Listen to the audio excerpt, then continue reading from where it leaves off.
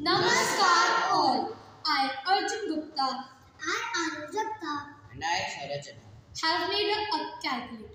Today, we are going to be telling you about the advantages, uses, and the components used in the calculator. My role in the project was to do the coding. My role in the project was to design. And my role in the project was to make the circuit. This project has a simple circuit. It uses the components I2C LCD, keypad, and Arduino Uno. There are many benefits of a calculator. First, speed. Calculators are much faster than doing mental, calculations and are very helpful in doing lengthy equations.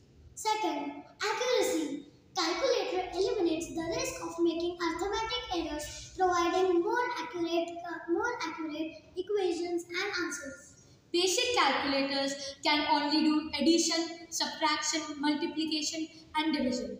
However, for complex calculations like exponential operations, arithmetic operations, trigonometry, and hyperbolic function, we use sophisticated calculators. A calculator is a machine that allows people to do maths operations. Now, let's see how it works. This works as a simple calculator. We press buttons and uh, operations uh, to get the answer output in I, I2C LCD. Let's see how it works.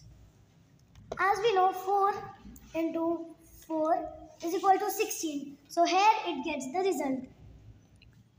Later, I2C LCD. Later on, we can enhance this calculator to show decimal and fractional sums. Uh, we thank Miss Samriddhi ma'am, our science teacher, And our Indian teacher, Vandana Ma'am.